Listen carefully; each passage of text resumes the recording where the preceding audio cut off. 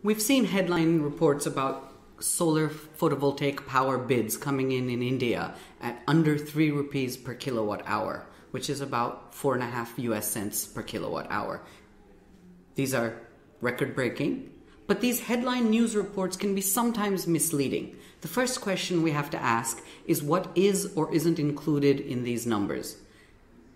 Sometimes there are subsidies. In this particular case, most recently there weren't, but there were other support mechanisms such as help for land, free transmission, etc.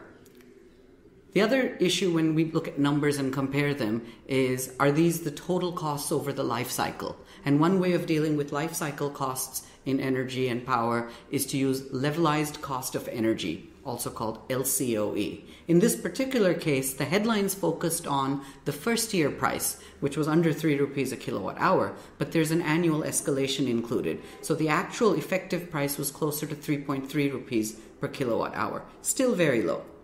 A very important uh, concept when we look at LCOE is to figure out what is happening over time a same LCOE can actually look very different. So, for example, if we compare solar and coal, solar power plants are mostly about a capital investment. You buy the equipment, and then there are no fuel charges, very little operations costs, some cleaning, some maintenance.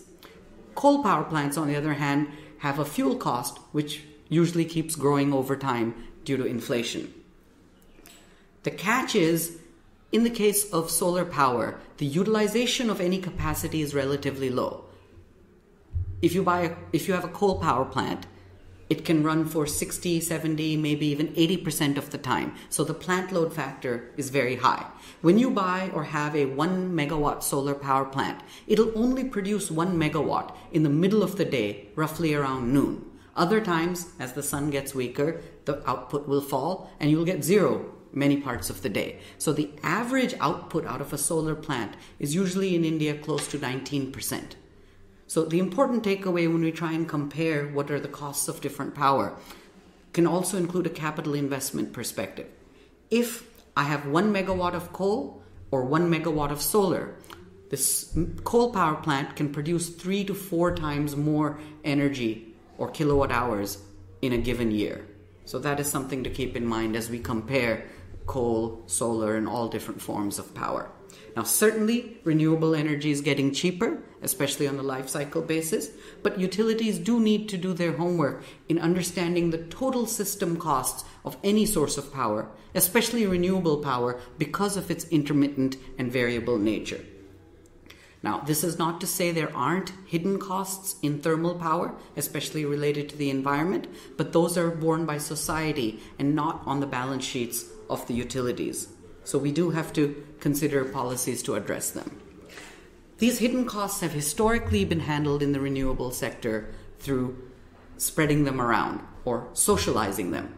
That has worked to give support to a nascent industry, but at some point, as renewable energy grows, we have to ask this question at what point does the entree now become your appetizer? So we may need tweaks to our policies as renewable energy grows in share. A lot of people are growingly interested in solar power because the prices are falling. Now, the term grid parity is in fact used to describe the cost from renewables and especially solar power, but it's a very misleading term. From an end user perspective, if you hear newspaper reports of three or three and a half rupees a kilowatt hour. Those are for grid scale or utility scale, very large projects. If you put it on your roof, it's usually a little more expensive because you lose the economies of scale. But it's still perhaps maybe in the order of four or five rupees. And that sounds very competitive to many people who say my bill with the utility is six, seven, or maybe eight or more rupees a kilowatt hour. Now, the problem is this is not a fair comparison. The end user is only looking at solar, comparing it with their total cost, which is the end user or retail cost. You cannot compare those because when you get power from the grid, you're not just paying for the generation of power, but also the transmission, the distribution, the entire system, which has metering, backup, management, all of the above. The other problem is, of course, solar power does not displace the grid entirely because of the intermittent and time specific nature of solar power, it cannot supply all your energy needs, at least not without a battery system, which raises costs tremendously. So, solar and wind, most of the world today is being used as opportunistic renewable energy or opportunistic RE. What that means is you take it when the sun shines, you use it when the wind blows, but otherwise you go back to the grid. Now, what that does is it raises the costs for the rest of the grid because if you reduced your use of it, and in fact, in the case of solar, you come back to the grid in the evening, which is the peak period in India.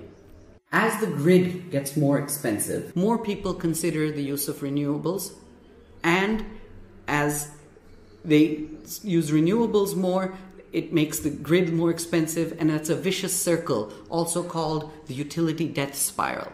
This has not happened in India yet, but there are fears that it will happen sooner or later. It has been seen in other countries. And in India, you have an additional distortion that many consumer categories overpay for their electricity. And they will be the first ones. The ones who are cross subsidizing other users will be the first ones who exit the grid or diminish the use of their grid through renewable energy.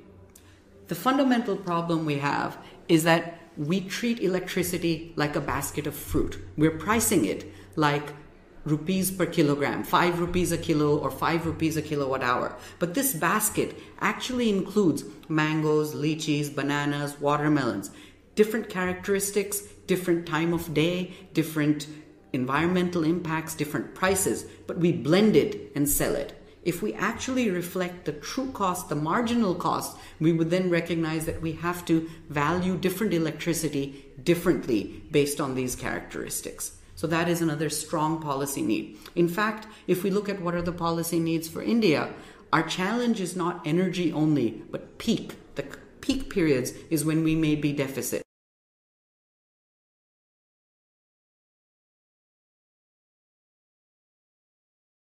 And neither solar nor new coal plants are the answer to peak requirements in India.